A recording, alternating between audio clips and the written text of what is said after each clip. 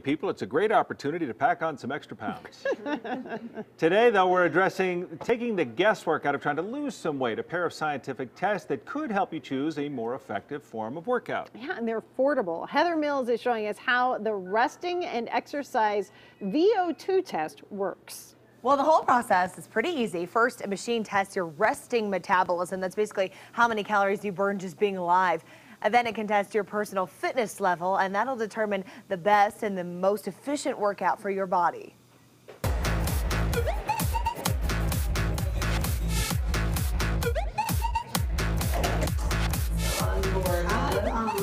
The number on the scale may be a familiar digit, but finding the numbers that go into what you weigh are very specific. Every person is different. Amanda Schmacall with Total Health and Exercise in Centennial says these tests can help determine how many calories you need to sustain your current weight, lose, or even gain weight.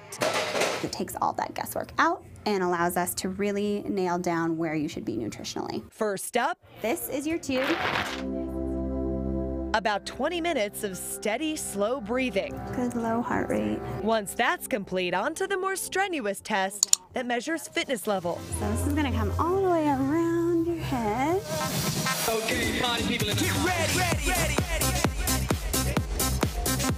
This is gonna tell us where your fat burning zone is, where your anaerobic aerobic threshold is, so where your body switches from burning fat to where it starts to burn muscle. Starting with a slow walk and working up to an incline jog. Go up now, and then from there, this will be only incline. The whole thing takes less than 10 minutes. We're just gonna go for another 45 seconds. Then it's time for the results. That's you all the way over here. Normal is here. You're only burning about 890 calories at rest. Which means I need to stay pretty active in order to maintain my current weight.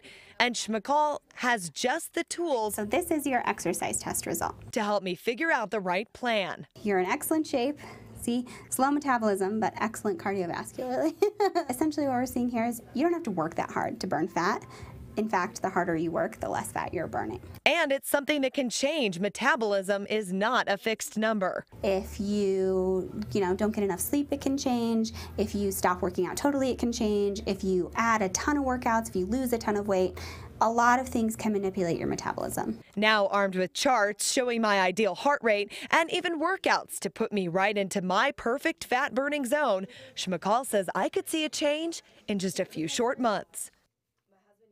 Well, the resting and the exercise tests, uh, they're about $90 a piece, 150 for both, and we've got more information posted on our website at kwgn.com. So that's really useful information, but it was sort of startling, wasn't it, to hear that it was just 890 Uh, calories a I'm, day? I'm still recovering from that terrible information, but it's good information to have because if you don't know that, then it's very easy to pack on the pounds. So, Okay. Uh, Super Bowl will be a different day for me. Thanks, Heather. All right, still ahead in what to watch.